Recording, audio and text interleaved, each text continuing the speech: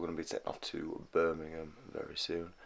Going to be a day full of loads of freebies, meet some athletes, um, and then hopefully attend some seminars which should improve the PT business. Just waiting for this one to get ready.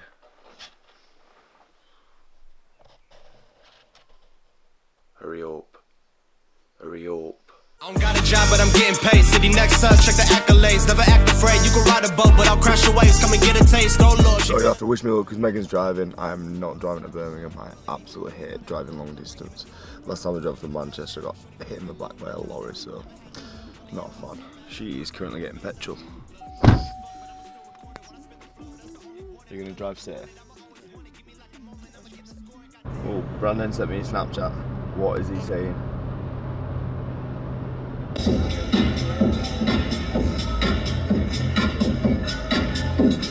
Yes, the boys. Might fuck around and put you in the ground. Y'all talking shit, I'm the talk of the town. Bitch, I'm a king, you just holding my crown. Feel like the illest, I kill with the sound. I've been the best and they already know. Lapping these rappers, I'm going for gold. Pop if you like it, is I gotta go to your bitch. So finally arrived, made it there safely somehow. Somebody scared of the motorway, so somebody had to drive. Alright, look, right, a lorry's hit into the back of me before. Alright. Now I'm gonna go meet my boy Brandon. Lego! Feeling more, I hit it to leave, no feeling remorse. I'm feeling myself, I really need more. You got it on lock while I'm breaking the door. Ride around the city with a top down. Shorty face get low when I drop down. Never had no help, only out myself. Bad luck go down when I spaz out. Look, I'm sick as fuck, but I'ma still record it. When I spit the flow, that's the only one. And feeling like I'm doing a YouTube.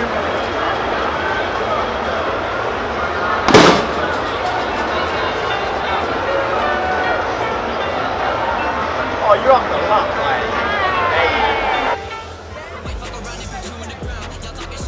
at the. Bitch, I'm a king, you just holding my crown. Feel like the illest. I the I'm going for gold. Pop if you like it, is I gotta go. But I'm up in your playlist. She's drunk. Talking that shit, but I'm up in your playlist. Legs are shaking. Pin and I aim at the neck. But you really a rat.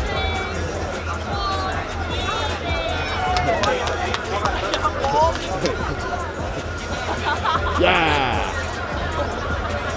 We about to come up and I'm stopping the business. I take the beat and I make it a ditch. You act like you hard, but you really a bitch. I'm not the one to go fake or pretend. They say that they love me, but hate when I win. I'm tired of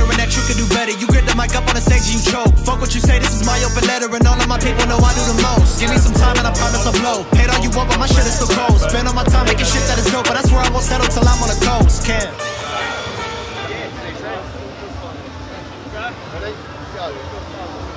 Now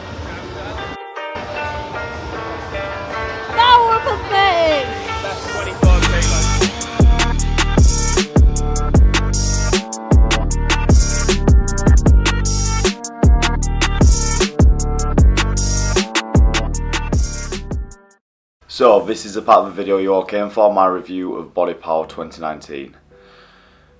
I can only say it was a bit of a disappointment, especially compared to the last three years. Um, I just think that the athletes that were there, they were very limited big athletes.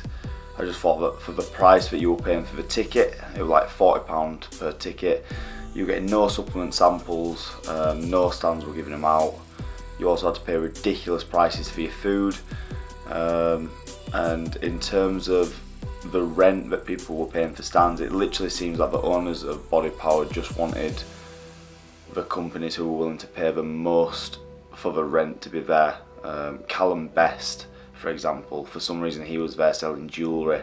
Couture Club, uh, they were also there. I'm a fan of the clothing, but it still is nothing to do with bodybuilding or nothing to do with kind of like the fitness industry. Don't get me wrong, some of the guest speakers were good. I went to a couple of good like body composition and fat loss seminars, which I think are going to massively help my PT business.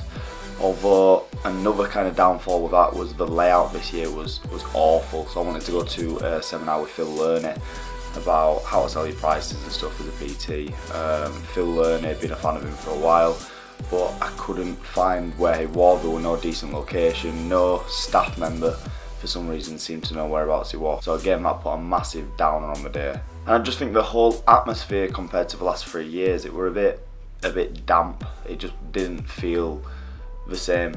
Um, the past couple of years I've been proper excited about going. I've got there, amazing atmosphere, and this year I don't know, I don't know what it was. It just seemed, just seemed really flat. So if I'm going to be completely honest with you, then I'm not too sure whether I'm going to be going again. I might just pay separately and go watch some guest speakers or go see some seminars. Because the queues for the athletes that did attend, such as your Jon Jones, your Simeon Panda, um, you'd have been in the queue for like 90 minutes, and I was just like, you know what, I'm not honestly that that desperate to meet him. However, the massive positive from the day was I had an unbelievable donut. Oh my god, it, it was a company called Donuts, um, and I had like a sticky toffee pudding donut. Although it was like four quid for it. Oh my, it was unbelievable.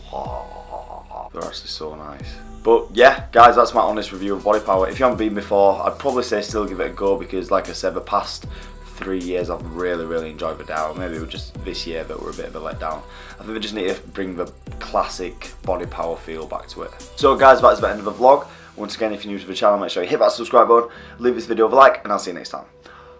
Peace